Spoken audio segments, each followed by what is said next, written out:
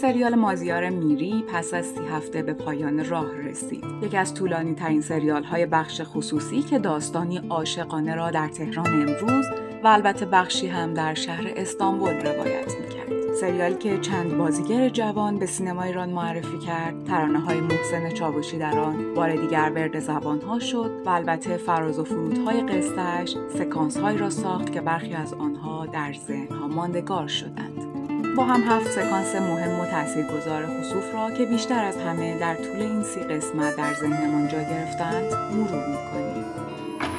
از دست تو تو سینه من هل هل بر پاست انگار درختین و پر از سار کشیدن. دست منو به موی تو محتاج کشیدن. چشمات و شبیه شب معراج کشیدن. هفت. اعتراض دانشجویی سکانس افتتاحیه. یادآور سینمای اجتماعی سالهای پایانی دهه هفتاد که به ساخته شدن عاشقانه های مهم در سینمای ایران ختم شد. بیش از همه شاید یادآور فیلم متولد ماه مهر. این جوانها البته جوانهای نسل دیگری بودند و اعتراض و عشقشان از جنسی دیگر. اما این سکانسی است در همان شروع برای شناختن سرکشی روح آتیه و نویسندگان میخ خود را همان ابتدا محکم میکوبند.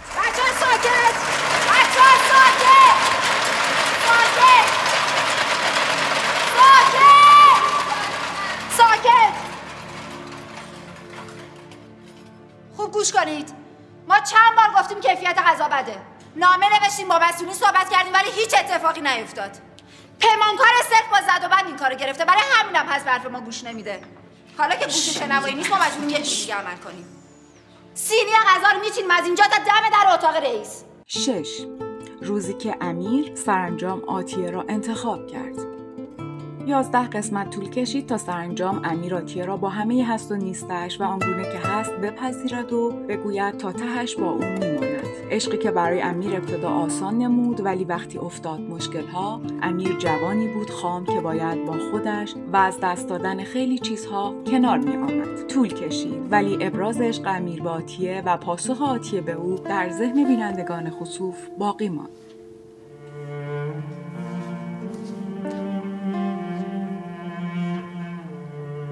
آتیه من هستم. همیشه کنارتم. خیالت راحت باشه. نه به خاطر این داستانهایی که امروز پیش اومد. به خاطر خودت هستم. خیلی دوست دارم. پنج. ابراز عشق مهراب به آتیه روی کشتی. اگر امیر برای به دست آوردن آتیه 11 قسمت تلاش کرد، مهراب برای به دست آوردن این عشق صبوری بیشتری کرد. در قسمت هفدهم نقشه های مهراب و زمین چینی هاش سرانجام به نتیجه رسید و روی کشتی وقتی فکر می‌کرد آتیه پیشنهاد عشق پیران سرانه او را برای یک زندگی بهتر در اروپا میپذیرد یکی از بهترین سکانس های خصوف اتفاق افتاد. سکانسی که پایگذار نیمه دوم سریال شد. من یه آپارتمان بزرگ می‌گیرم. نه یه ساختمون چند طبقه می‌گیرم که محل کار و تحصیل نزدیک باشه. موافقی؟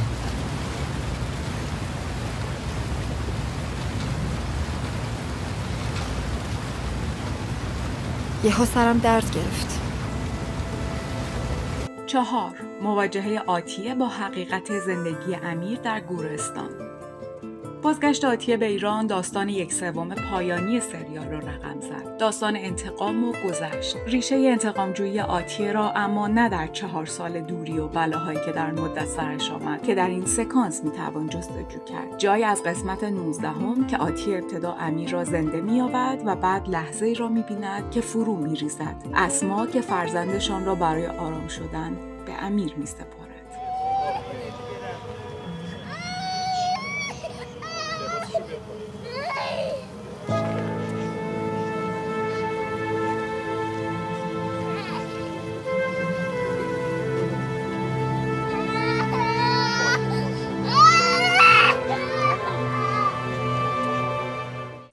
وقتی علیرضا سرانجام اوسیان می‌کند.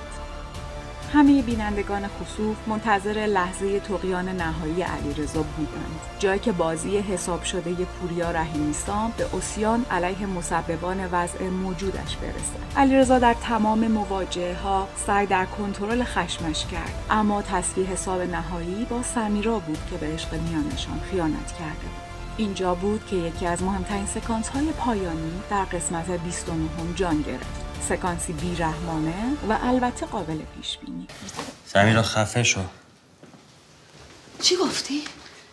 گفتم خفه شو خفه شو چته؟ افسار پاره کردی ها؟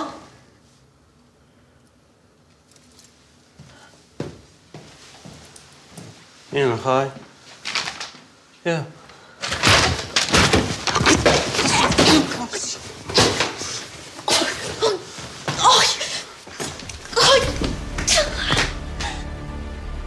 دو تیر خوردن عمیق در شب خسوف.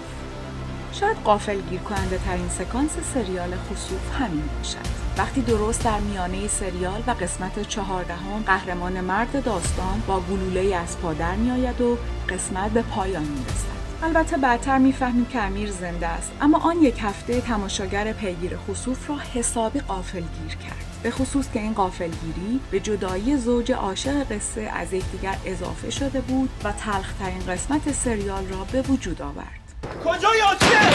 امیر!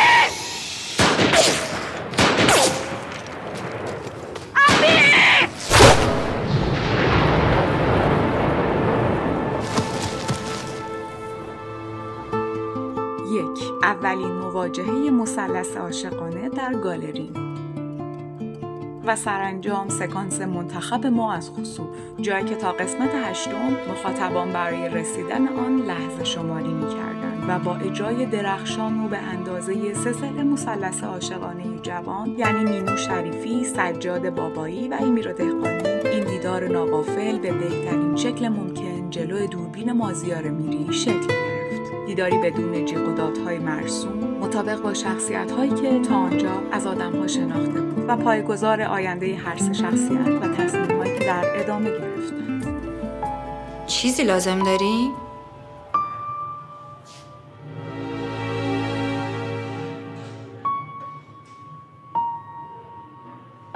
معرفیمون نمی کنی به هم؟